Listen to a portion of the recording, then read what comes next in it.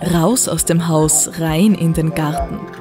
Oder besser noch in den Asiapark Leoben, denn dort findet vom 12. bis zum 14. Mai ein Gartenzauber im wahrsten Sinne des Wortes statt. Der Kiwanis Club veranstaltet in der Au zum zwölften Mal die beliebte Charity-Gartenausstellung, um Kinder zu unterstützen.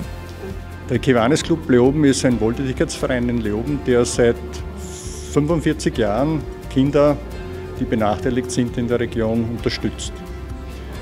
Und der Gartenzauber ist unsere größte Veranstaltung und der findet heuer bewusst am Muttertag statt, weil wir wollen gerade am Muttertag Kinder unterstützen, die eben keine Mütter und keine Familie mehr haben.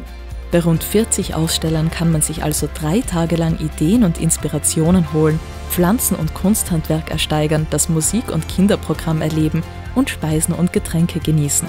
Außerdem wartet noch ein Gewinnspiel auf die Besucher. Unterstützt wird die Veranstaltung vom Asia Spa und der Stadt Leoben. Wir unterstützen finanziell mit einer Subvention und mit Dingen, die Kiwanis von uns brauchen könnte und natürlich mit der Pressearbeit.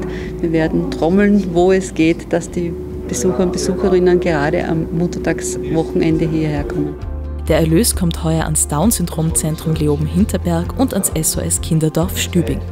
Heuer geht der Erlös ans äh, Down-Syndrom-Zentrum, das mit diesem äh, Geld speziell ein Junge, nämlich der Lukas, der sieben Jahre, unterstützt wird für ein ganzes Jahr. Und der zweite Teil geht an SOS Kinderdorf. Dort wird ein Workshop für gesunde Ernährung äh, gesponsert. So hoffen wir, dass viel Geld für die Kinder zusammenkommt, wünschen Lukas und den Kindern des SOS Kinderdorfs nur das Beste und ihnen, dass sie sich auch Tipps und Tricks für eine grüne Oase holen können. Ich freue mich eigentlich, weil ich ähm, bekannterweise eher den braunen Daumen habe und ich werde mir ganz viele Tipps holen, damit auch bei mir der Balkon etwas ansehnlicher wird.